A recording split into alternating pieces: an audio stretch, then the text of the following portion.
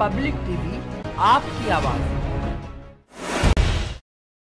अखिल भारतीय यादव महासभा उत्तर प्रदेश के बैनर तले महानगर के कंजरी सराय जेल के पीछे स्थित रामा पैलेस के मीटिंग हॉल में एक कार्यक्रम का आयोजन किया गया, जिसमें महासभा के पदाधिकारियों द्वारा होली मिलन कार्यक्रम में गले मिलकर होली की शुभकामनाएँ दी गईं और यादव महासभा को मज़बूत करने पर बल दिया गया। कार्यक्रम की अध्यक्षता जिला अध्यक्ष सुरजीत सिंह यादव एडवोकेट ने की और संचालन सोमवीर सिंह यादव द्वारा किया गया। कार्यक्रम में मुख्य अतिथि के रूप में भूप सिंह यादव भी मौजूद रहे। कार्यक्रम में सभी अतिथियों का फूल मालाओं और पगड़ी पहनाकर स्वागत किया गया। इस दौरान यादव समाज को एकजुट करने का आह्वान किया गया।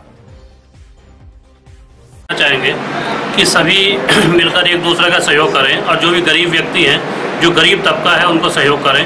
और सभी से कहना चाहेंगे जो चुनाव इस समय चल रहे हैं सभी लोग चुनाव में अपना मतदान का प्रयोग ज़रूर करें वोट ज़रूर दें जिससे सभी अच्छे कैंडिडेट चुने जाएँ।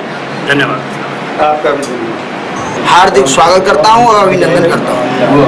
और अपने सभी समाज के लोगों का भी हार्दिक स्वागत अभिनंदन है। जो सजाती बंधु हैं उनका भी हार्दिक स्वागत अभिनंदन है। मैं सबसे यही कहना चाहूँगा कि एकजुट मतलब रहने की ज़रूरत है। मेरी यही सलाह है सबसे और मेरी यही कामना है। मैं उनके उज्जवल भविष्य की कामना करता हूँ।